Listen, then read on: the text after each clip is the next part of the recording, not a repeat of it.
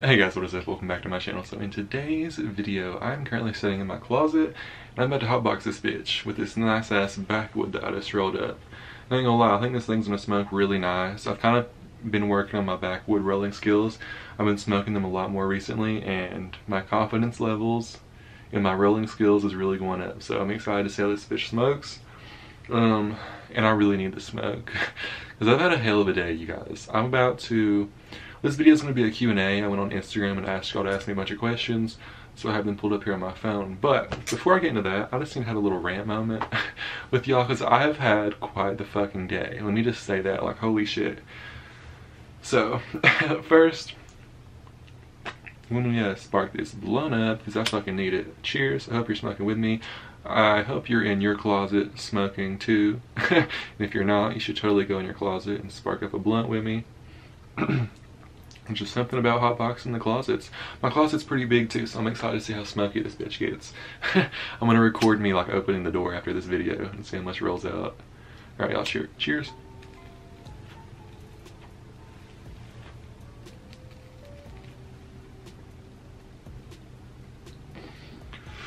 Like I said, my rolling skills is getting a lot better.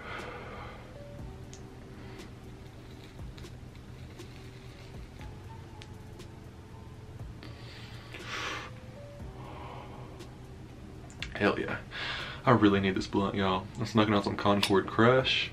It's been my go-to strain lately. But yeah, y'all. Let me uh let me have my little rant moment first, and I'm gonna get into these questions. So today's been quite the eventful, busy fucking day. Um, I hired this girl here in Denver to do a photo shoot for me in downtown. So I met her at 12. It was super fun time. The pictures look amazing. I can't wait to get them and post them on my Instagram. If you don't follow me on Instagram, you totally should. I'm about to post some fire content. But anyways, we were doing our photo shoot, you know, having a good time, and she tells me to sit down on the concrete. And I wasn't thinking, and my phone was in my back pocket. And y'all, I literally busted the shit out of the back of my phone when I sat down and the front, front screen. You can't really tell in the front, um, but I can. And holy shit. So when I sat down, like my billfold was in my back pocket with my phone, and my billfold, or my wallet, has like a metal spike on it. So it literally like stabbed my phone, and it sounded like a bone broke when I sat down on the concrete. And I was like, oh shit.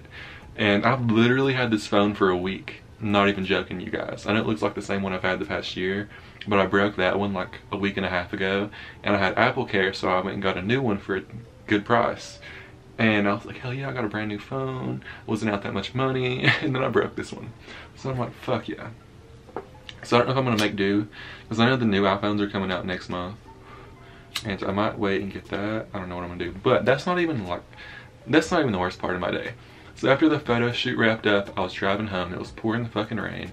Had some Chick-fil-A you know ate that shit, and I was like five minutes from my house, and I was at a red light, pouring rain, like I said, and all of a sudden, this bitch runs into, back, into the back of my Jeep.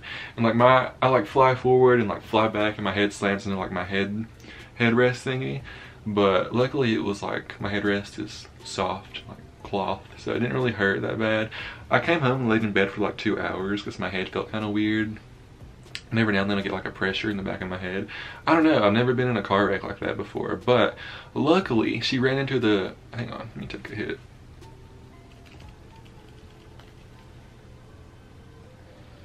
But luckily, when she hit my Jeep, she ran right into the wheel on the back of my Jeep. Um, like you know how Jeeps have like wheels mounting on the back. So luckily I had that on there and she ran right into that. And my Jeep is perfectly fine. I was like, holy shit. Like I was in shock because it hit so hard. Like it jarred the fuck out of me. my phone went flying and shit. So I was like, yo, my Jeep is totally fucked up. Got out in the pouring rain, went around to look at it, and it was perfectly fine. However, it did fuck her car up. Like it fucked her hood up and everything. And uh, she was like, you know what, I don't even care. Yours is fine, fuck mine. Like, I don't care. And I was like, okay, cool. I don't care either. So I got in my car and left and came home. so that was like that was that. Um, I'm not like most people would have like called the police or like something, but I was like, fuck, this is the last thing I want to deal with. I just want to go home. that was like 20 minutes after this phone happened. I was like, oh my god. But it's okay. I'm not here complaining. Or maybe I am complaining to you guys, but I'm really just because I'm not even that mad. It, it could always be worse, you know, so. But anyways, I have some questions pulled up and I'm gonna answer them and chit chat with y'all. Also, I kinda wanna take a shot first. I bring some alcohol in here. I think I'm gonna take a little shot. I fucking deserve it after, after that, after today. Alrighty. Cheers, y'all. That's some Gatorade to chase it. That's what I always use so I don't get dehydrated. Alright, down the hatch. Mmm.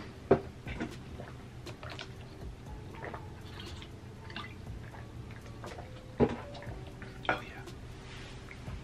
So, like I said, I'm gonna go get into these questions. There was a lot, so I just kind of screenshotted like all of them. so I'm just gonna answer them randomly. First question I see is, are you gonna get another face tat? I don't know. I've been thinking, I think about it a lot, but I'm really trying to focus on the rest of my body right now. Like my arms are basically almost filled up and uh, I want to work on my chest next and my tummy and my legs. So I don't know, I feel like I'm gonna get a face tattoo again eventually, but it probably won't be in the near future. However, I'm definitely going to. I don't. I have a few ideas. I think it'd be cool if I put something here because I have this sword over here. So I thought it'd be cool maybe I put like a um, pitchfork or whatever the fuck it's called here. I don't know. I have ideas, but it's just ideas for now. And I would love to put something up here eventually. I don't know. Sometimes I'm I'm really content with what I have over here. I really think this is a good face tat setup so far. I'm, I don't regret it at all. But who knows? In the future I might and I might not. Who knows? We shall see. Do you think anyone really has a perfect purpose in life? Damn, that's kind of a deep question. And I mean, shit, I feel like I feel like you just have to find your purpose in life, or it'll just come to you naturally. Like you know, most people who like have their passion in life, I feel like they find it at a really early age, or it just kind of comes to them naturally at some point in their life. You know, but maybe that's not the point you were asking. Um, if life has a purpose in itself, I mean, shit, I don't know. I guess we'll find out when we die.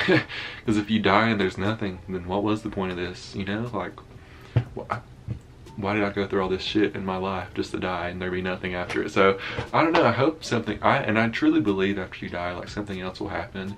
I don't know what. I'm not necessarily like super religious, but I mean, it's just, bro. The world is in fucking sane. I've said this before and it's just like, bro, the world is perfectly tilted to where we can survive on it and have seasons and like we have the atmosphere and like all that shit that protects us. It's just like, bro, how did this happen? like what?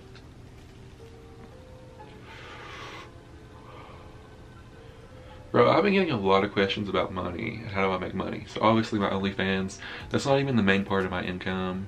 I mean, it's a, good part, but my my YouTube channel makes more than that, and my merch makes more than both of those combined, and then some. So, yeah, I don't know. It just kind of adds up. I do sponsorship deals as well. Um, have you ever experienced depression?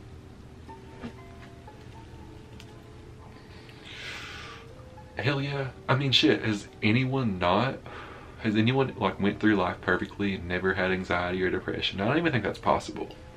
Like, honestly, I feel like that's something everyone has went through, at least anxiety. I don't know about depression, but I've definitely dealt with it myself.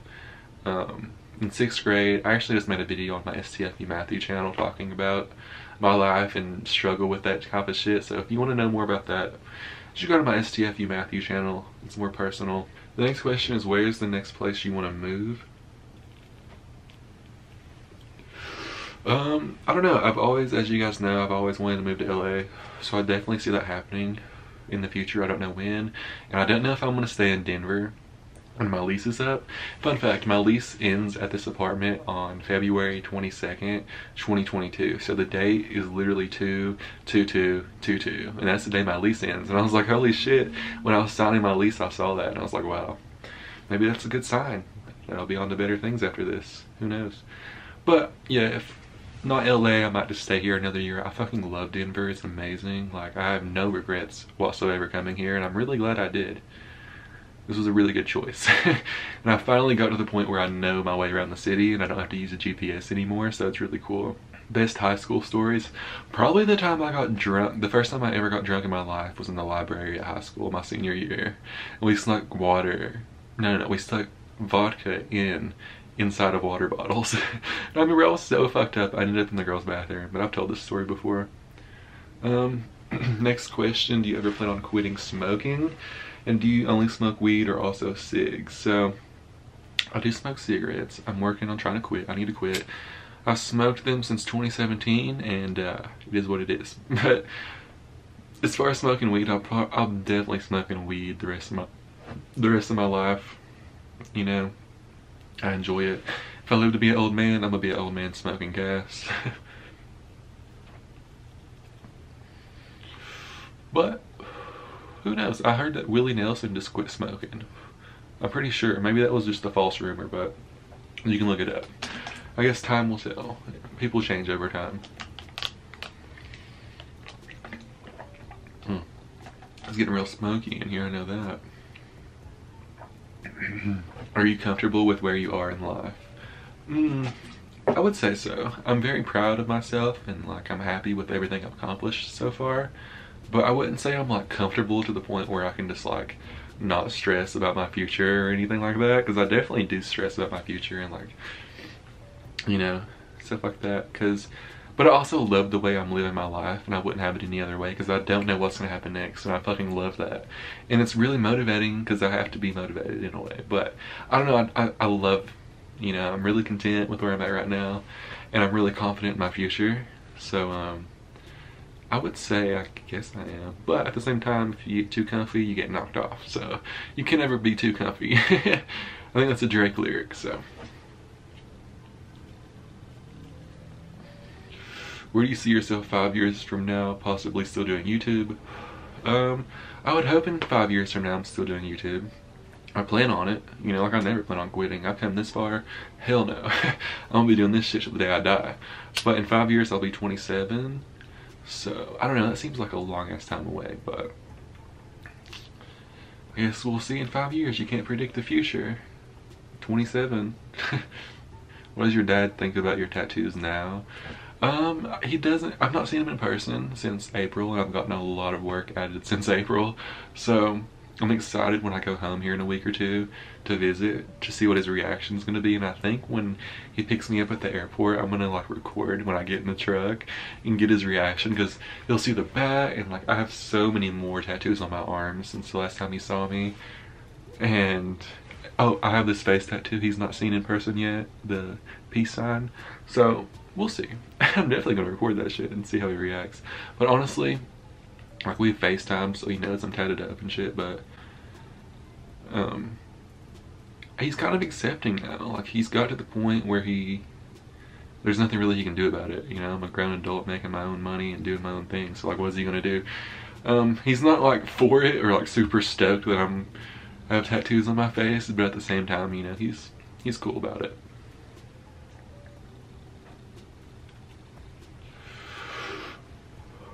If you could change your career, what would you be? Um, I don't know. That's a good question. Maybe like a lottery winner who like doesn't have to work at all.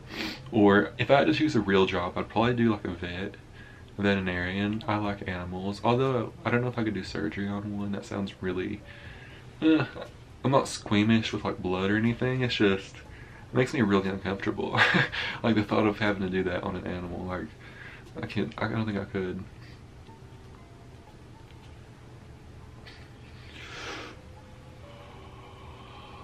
Plans for a pet? Um, I don't really have, actually I've been wanting to get a cat.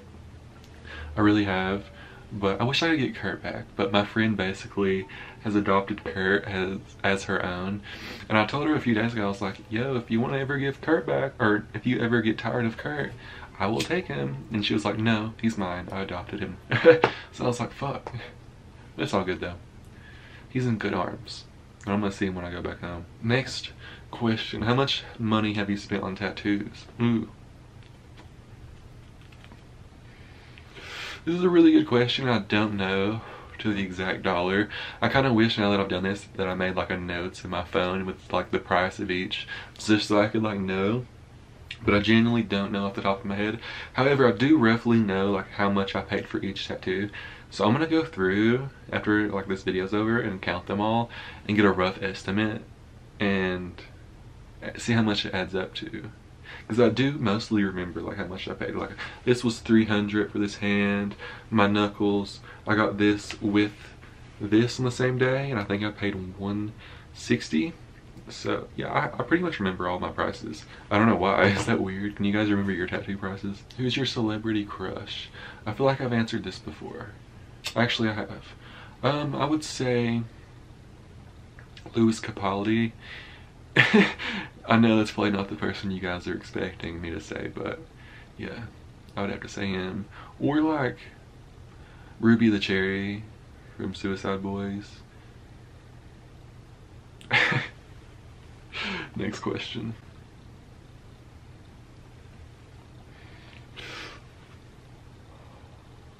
Someone said not a question, but a suggestion. I miss the long hair. Honestly, I really miss the long hair as well, so you're not alone there.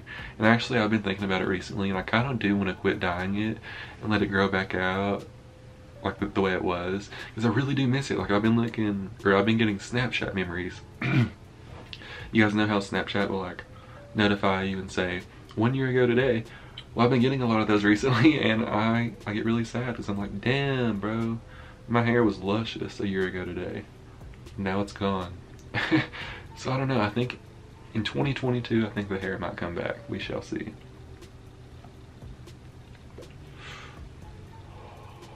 Someone said, what is the dumbest thing you've done while high? So I've actually tweeted this before.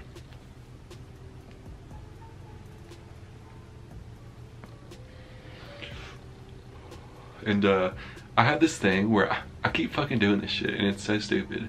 It's like a what the fuck moment. And so I'll get home, I'll park my car and shit, I'll go up to my apartment and I'll be walking up to the door and I don't think I have the keys in here, but yeah, I'll have my car keys. And you guys know how on your car keys there's a button to press to unlock your car doors? I don't know what it's fucking called, but you'll be walking up to your car, you'll press the button, it unlocks. I'll walk up to my fucking front door and press the fucking button like it's gonna open it instead of sticking the key in it. And I fucking do that so, um, I do it at least once a month. Maybe once every two months, something like that. But whenever I do it, I'm like, what the fuck is wrong with me? so.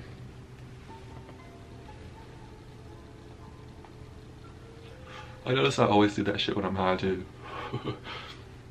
Someone said, how does it feel to live alone in a big city? It's really cool. I mean, I actually know two people here. There's one person I went to high school with that lives here, but we don't really hang out. And one of my cousins lives here, but I don't really know them that well. So I'm not super alone, but I've never hung out with anyone that I know, like either of them here. So I moved here completely like in not knowing anything or anyone and it's still kind of that way and I don't regret it at all. I think it's super fun and if you have the opportunity or you can do that in your life, you should definitely fucking do it because I, it's so cool. You, it's, it's, it's like an experience and I lived in Kentucky until I was fucking, what, 20 years old? Yeah, 20 years old. Like, that's crazy. And just to come somewhere that I've never been before and fucking move there and sign a year lease was, it's just like, I'm glad I did it. And I'm you know, I have no regrets. And I feel really lucky to like be able to do this. And if what if it wasn't for you guys, I would still be in Kentucky. So I just, you know, thank you guys so much for watching and supporting me. Like I really do fucking love you guys. So um, yeah, it was it's really dope. So yeah, you guys, I this blunt is just about done. I love how much ash on the floor. Oh well, this thing's just about done, and uh, I'm pretty, I'm pretty cooked. I'm feeling pretty good. So I'm ending this video here. I hope you guys enjoyed this video. And uh, yeah, my closet's pretty fucking smoky. My clothes are gonna be smelling really good. So yeah, thank you guys so much for watching. I fucking love you all. And until the next one, stay motherfucking blazed.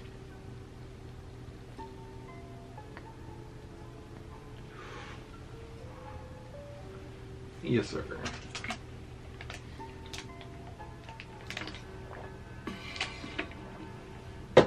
Imagine if I just drunk that.